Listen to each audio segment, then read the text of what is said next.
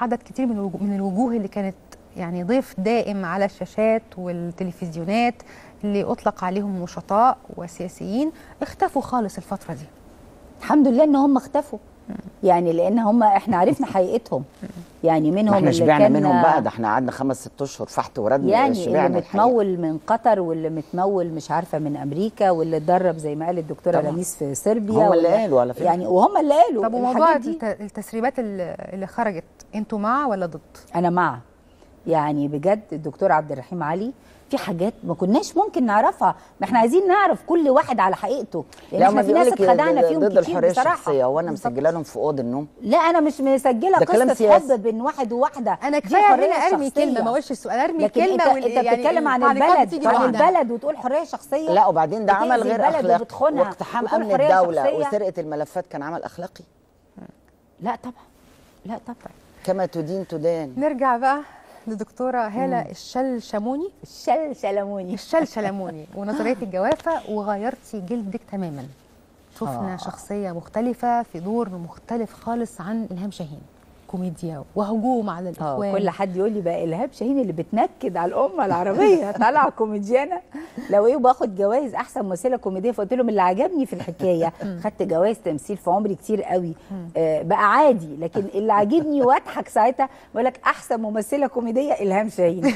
آه، كانت بتبقى مفاجأة ليا يعني. كانت دي في حد ذاتها إفيه يعني نكتة. آه، آه، فترة التصوير كانت آه، قبل ما ما يخرجوا من الحكم طبعا؟ ده هم خرجوا خايفة من الانتقاد وإحنا داخلين على؟ رمضان وانت بتصوري ما كنتيش خايفة من رد فعلهم من التهديدات اللي بتجيلك؟ شوفي أنا المسلسل الأول عرضته على شركات كمان إنتاج، استخدمتي يمكن كله جملهم خاف مني. المسلسل. لا ما والله هو كله إحنا بننتقد حكم الإخوان كله. المسلسل بيقول إن إحنا كلنا بقينا. مرضى آه، نفسيين. بسبب وجودهم في الحكم. فأنا دكتورة نفسية وكل النماذج اللي بتجيلي أنا بعمل رسالة دكتوراه عن إن البلد كلها جالها حالة اسمها اكتئاب جماعي. كلنا بنتكلم بعض طول الوقت أنا مكتئب أنا مكتئبة. يعني كله عنده اكتئاب. وبجيب نماذج كل واحد بقى بيقول هو مكتئب ليه؟ بننتقد يعني لهم حاجة من حاله اللي اخوانيه مثلا. وقت الإخوان. مش كده؟ نعم. جات لهم حاله إخوانية. بالظبط مش حاله. حاله إخوانية. فطبعا آه، إحنا كنا بننتقد بضراوه وكان نفسي ينزل يعني في في وقت وهم في الحكم. أحد النقاد قال إن لو لو المسلسل كان نزل آه آه أثناء وجودهم هي في الحكم أيام كان قبل هيبقى رمضان. الكوميديا أعلى والضحك أعلى. متفقة طبعا مع الكلام طبعا ده؟ لأنه كان في جرأة غير مسبوقة. ولما خافوا برضو منه المنتجين قلت لهم أنا مصر أعمله السنة دي وهنزل وهنتجه وهخسر وهعمله. بس أنا لازم أنزل لأن ده وقته. ما يعني ما كانش إلهام ممكن. أجله. دكتور شايفة إزاي الفن والفنانين يقدروا يخدموا قضايا بلادهم أكتر الفترة الجاية؟ والله هم طول عمرهم بيخدموا قضايا بلادهم بس آه، ال- الفترة الثلاث سنين اللي بعد 11 آه، 2011 2012 2013 ال- كان في آه، فن فكرني بفن ال- الهزائم شوية.